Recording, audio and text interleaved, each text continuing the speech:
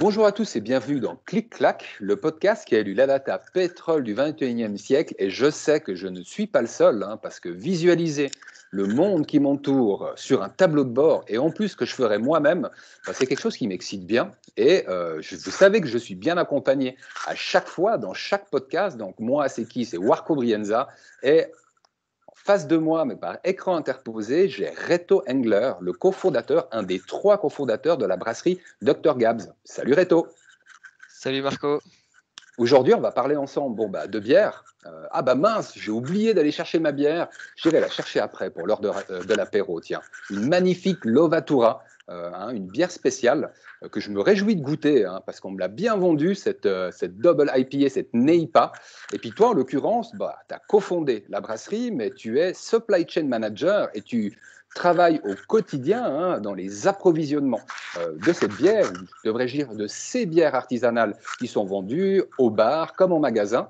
Euh, est-ce que c'est correct ce que je dis, que tu utilises ClickSense régulièrement justement pour avoir bah, les bonnes infos euh, de manière à faire les bonnes commandes, des bonnes matières premières ou du packaging également hein? Tu as également la vue là-dessus?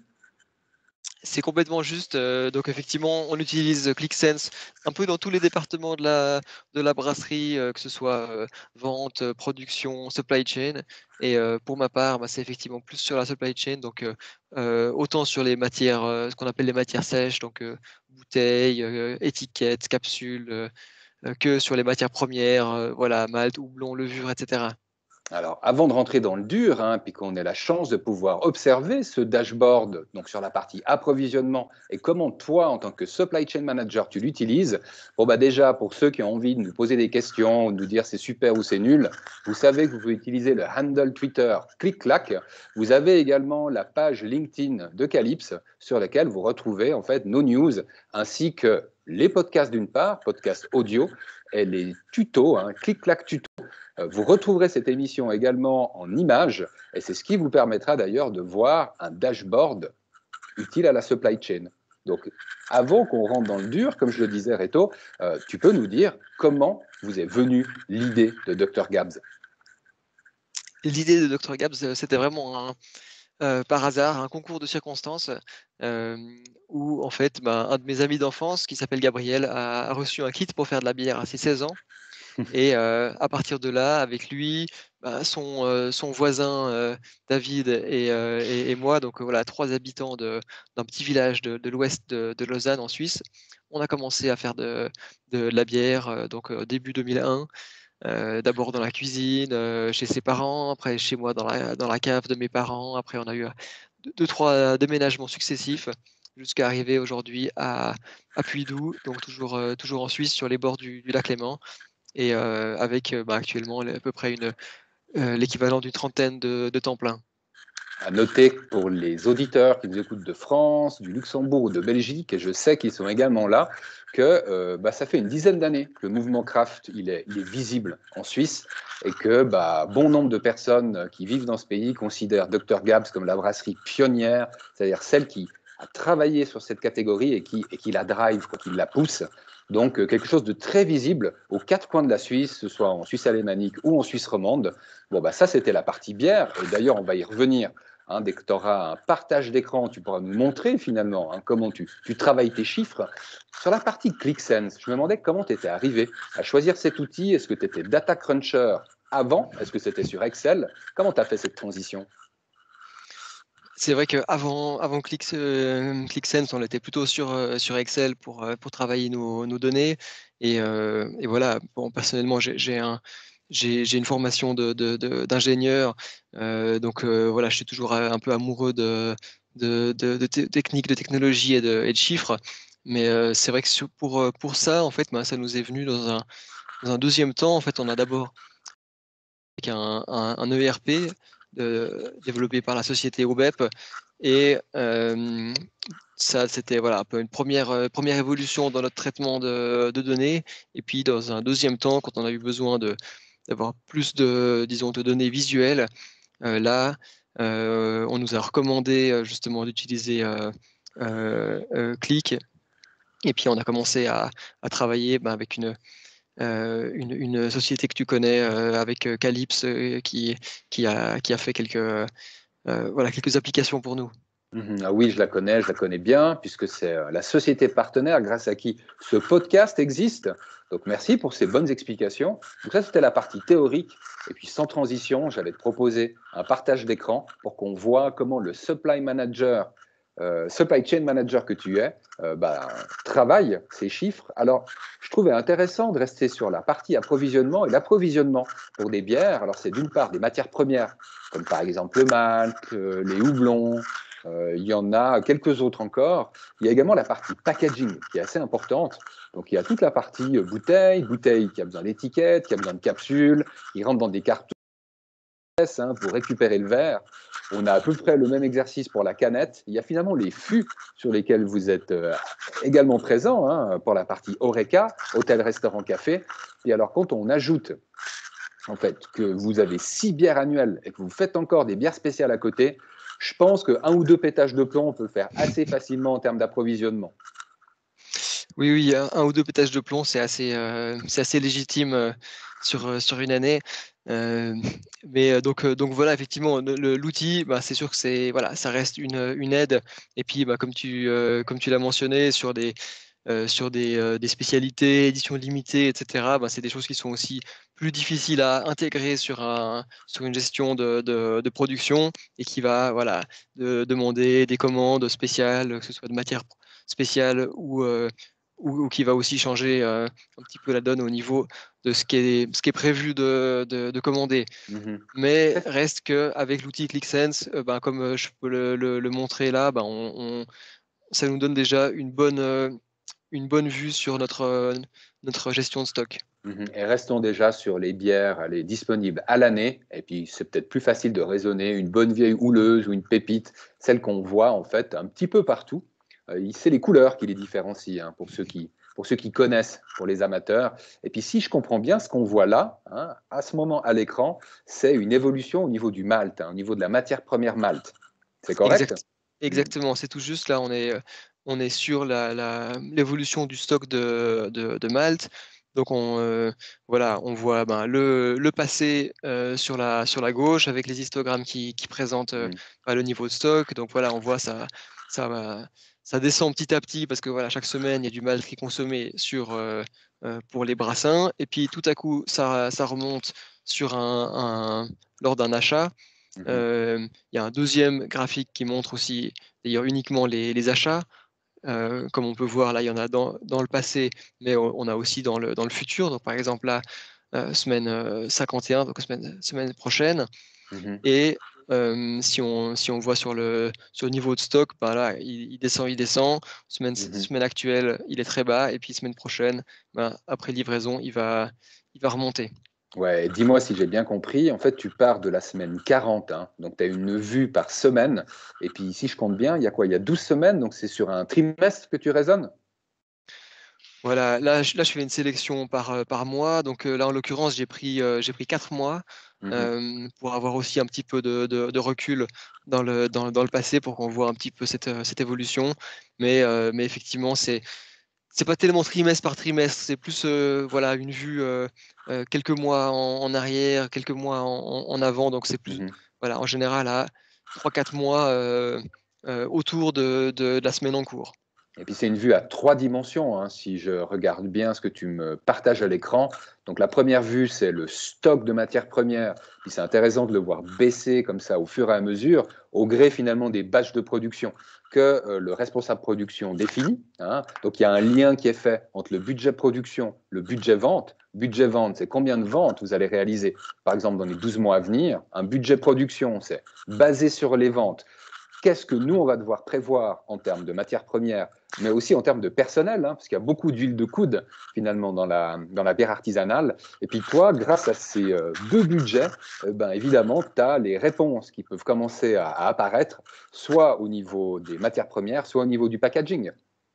Exactement, c'est tout, tout juste. Donc là, ben, l'huile de coude, comme tu, comme tu l'as mentionné très justement, bah, ça malheureusement, en tout cas pour l'instant, on n'a on pas de gestion, euh, en tout cas sur, euh, sur Click. Euh, mais par contre, au niveau des fournitures, voilà, ça, ça fonctionne, ça fonctionne déjà. Mmh là, sur l'exemple actuel, là, on, voit qu'il n'y a pas de, production qui est placée dans le futur, mais sinon, mmh c'est ce qui permet de faire, voilà, qui va faire descendre le stock virtuellement dans le futur. Très bien, ouais. Donc d'une part, une vue historique sur le stock de matières premières, le lien juste en dessous avec les derniers achats de matières premières. Et puis on voit également euh, quand est-ce que, enfin, les besoins en termes de matières premières à venir pour les batchs à venir. Donc, et les gars, si vous comprenez rien à ce qu'on dit, parce que vous avez que l'audio, eh ben, vous avez qu'à aller du côté euh, de la page Calypse sur YouTube pour voir la partie vidéo. C'est quand même un petit peu plus clair. Et puis, tu sais, ce que je trouvais intéressant, Reto, c'est que là, on l'a vu donc, pour la matière première qui est le malt. Et puis, sur la partie packaging, je me suis demandé euh, bah, comment tu gérais ça en sachant que, bah, typiquement, le lien entre l'étiquette, par exemple, d'une houleuse ou euh, l'étiquette d'une chameau, est-ce que tu commandes en même temps? Comment tu fais finalement pour checker, OK, comment se porte l'une versus l'autre? Tu arriveras à nous montrer ça encore? Oui, c'est clair. Alors, euh, pour la gestion d'étiquette, donc ça fonctionne un peu sur le même principe, c'est-à-dire que voilà, il y a aussi un, budget de production qui est placé semaine par semaine, et chaque budget de production euh, est, lié à, des, à, des, SKU, donc à des, à des articles, articles de vente. Unit. Exactement. Et, euh, et donc ça, c'est une partie qui va transiter par notre ERP. Donc dans, dans l'ERP, un article, bah, typiquement voilà, une caisse de, une caisse de bière, une caisse de, houleuse, là, la blanche, euh, ça représente 20, 20, étiquettes. Et puis sur 20 étiquettes, on considère que ça va en consommer potentiellement 20,2 euh, pour, la, pour la production. Euh, donc ça, ça va rentrer dans la, dans la partie consommation de matières premières dans le, dans le futur. Et, et ça, ça va permettre de, voilà, de voir le stock diminuer dans le, dans, dans le, dans le, dans le futur également, et puis bah, de mmh prévoir des, des, des productions. Euh, donc voilà, si, si, je dois faire une commande, et eh ben, ce que je vais faire, c'est que je vais regarder, ok, ben, ça c'était le, le, cas pour l'étiquette, je vois qu'il en reste à peu près. Euh, là, il y a euh, de, donc je vais faire le tour des, des différentes, des différentes étiquettes. Mmh là, j'en prends une autre, pépite, la, la PLL. Voilà, là, je vois qu'on est à 50 000. Donc, il y a une, commande qui va, être nécessaire euh, prochainement. Ouais, c'est intéressant pour ceux qui n'ont pas l'image. En fait, ce qu'on voit, c'est qu'on a toujours une comparaison entre le stock de matières premières actuelles, le besoin en matières premières pour les productions à venir et en dessous la consommation de matières premières dans le passé, qui fait que du coup on a une vue euh, hein, sur ce qui s'est passé et on a également une vue sur ce qui va se produire. Et euh, là, c'était intéressant parce qu'on voyait en fait passer d'une Hein, d'une bière à l'autre. Voilà. Puis finalement, il y a un petit bout quand même qui reste en manuel. Et euh, moi, moi c'est pareil. Hein. C'est-à-dire qu'à l'œil nu, je me mets les idées en place parfois plus facilement si j'arrive à regarder un rapport que je compare avec un autre, sans forcément que j'ai les comparatifs, genre un bar chart à côté de l'autre, tu sais, pour avoir tout sur la même page. Des fois, c'est juste plus pratique de passer en fait d'un article à l'autre et puis de se faire une idée avec les mouvements qu'on observe à l'œil nu. Et je vois que tu fais pareil. Exactement, ça c'est ça c'est pareil. Et puis une autre question qui est de se dire bah voilà qu'est-ce qui va générer finalement le l'achat? Bah, c'est sûr qu'on peut parcourir tous les articles et puis voir où ça en est au niveau des stocks, mais on travaille aussi avec un système d'alerte qui, qui, lui euh, est lié directement à notre ERP. Euh, e Donc euh, là c'est vraiment un travail disons bête et méchant de, de stock min, donc un stock minimum ça veut dire que voilà, à partir du moment où on passe sous un certain niveau de stock qui est, qui est prédéfini, eh ben, on reçoit une, une alerte. Mhm. et puis tu me disais tout à l'heure, je trouvais sympa en off, vous savez, il y a les informations les plus, euh, les plus croustillantes, on les a souvent en off. C'est pour ça que celle dont je me rappelle, parce que j'ai la mémoire hyper courte, eh ben, j'en profite, fais profiter l'audience. Hein, tu avais ta petite frustration là de me montrer sur l'écran. Vous vous rappelez, je vous disais tout à l'heure qu'un stock de matières premières actuelles ou passées faisait correspondre en dessous l'information, par exemple, sur la consommation de matières premières hein, telle qu'elle s'est répartie par le passé. Puis tu me disais, ah, tu vois, là, c'est frustrant parce que, par exemple, sur la semaine 49, euh, euh, on n'a pas un alignement. C'est-à-dire qu'à l'œil, s'il y avait un alignement, c'est-à-dire que la semaine 49, au niveau de la consommation de matières premières, elle s'alignait euh, hein, au même niveau que sur le stock de matières premières, bah, ça te serait encore plus agréable. quoi. Exactement, voilà, c'est ça, c'est le, petit exemple que, qu'on peut voir ici sur la consommation de malt, et mmh. ben, effectivement, on n'a juste pas l'alignement sur les, différentes semaines, mais c'est voilà, ça c'est un peu le truc de, puriste. Je me demandais, tu évoquais tout à l'heure 30 collaborateurs, hein, c'est déjà une, une, belle famille. Est-ce qu'il y a tout le monde qui profite de recevoir des reportings ou c'est seulement une partie de la boîte? C'est euh, qu'une partie de la, de, la boîte qui, euh, qui, qui, travaille sur euh, qui travaille avec Click. Donc voilà, euh, ben le l'ensemble des représentants. Donc voilà, tout ce qui est force commerciale, ça c'est clair. au niveau de la production, bah voilà, c'est plus pour ce côté planification. Mmh. Et puis sinon, bah voilà, côté le logistique, supply chain.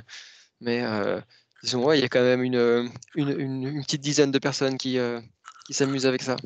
Et puis ce que je remarque, c'est qu'il y a quand même déjà une sacrée maturité hein, pour dire qu'on parle d'un segment de consommation qui est plutôt récent en Suisse.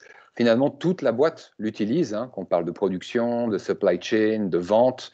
Euh, j'imagine que le marketing utilise également les chiffres de vente hein, pour euh, s'inspirer de la performance que Dr. Gabs réalise sur le marché suisse.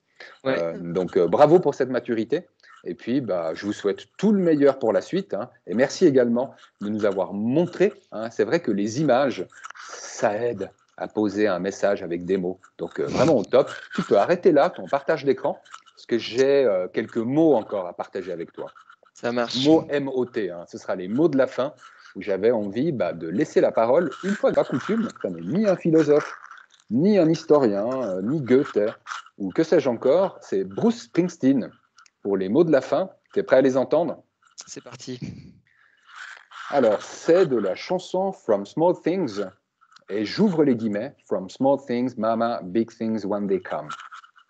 Voilà, donc euh, des petites choses, maman, euh, les grandes choses arrivent un jour, si je traduis littéralement. Euh, je me demandais ce que ça t'inspirait, Reto. C'est très belle, c'est très belle phrase, je trouve, et, ce qui, est, ce ça sympa, c'est qu'en fait, on ne sait pas qu'est-ce qui, est, qu'est-ce qui est derrière, en fait, qu'est-ce que ça demande. Donc évidemment, il y a beaucoup de choses qui commencent petites et puis après qui, qui, grandissent, mais la question c'est, voilà, comment? Elles ne vont pas grandir toutes, toutes seules.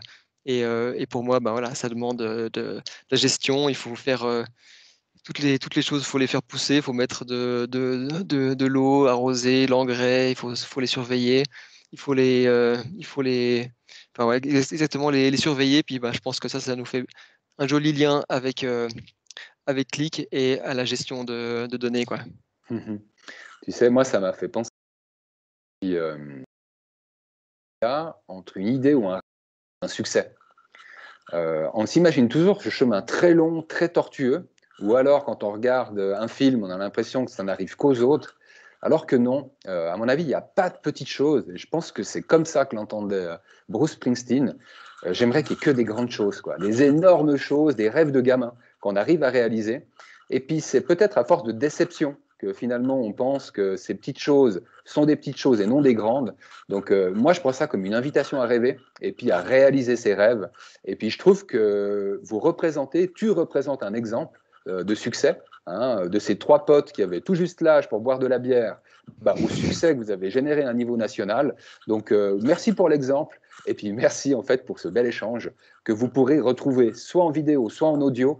Et puis, euh, on reste là, hein, chère audience, pour pouvoir répondre à vos questions, vos commentaires. Euh, c'est Warza. Vous le retrouvez dans les principales plateformes sociales. Je me demandais si tu utilisais les social media toi-même, Reto. Oui, je suis aussi, je suis aussi euh, utilisateur à titre euh, personnel. Donc euh, voilà, pseudo Reto Engler ou Reto.engler. Donc ouais, sur Instagram, Facebook, Twitter, Twitter un petit peu aussi.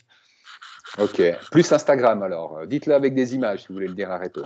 Exactement, plus Instagram, ouais, ouais. Mais je suis, je suis, je suis, je suis joignable et disponible. Il ne faut pas hésiter. à Top. Et puis, bah, quant à nous, euh, chère audience, on va se retrouver encore une fois cette année pour pouvoir parler d'inspiration hein, euh, à travers ClickSense et cette fois dans le domaine du médical. Je vais recevoir pour ça un expert du médical et de data qui est Karim Benzassi pour bien boucler cette année.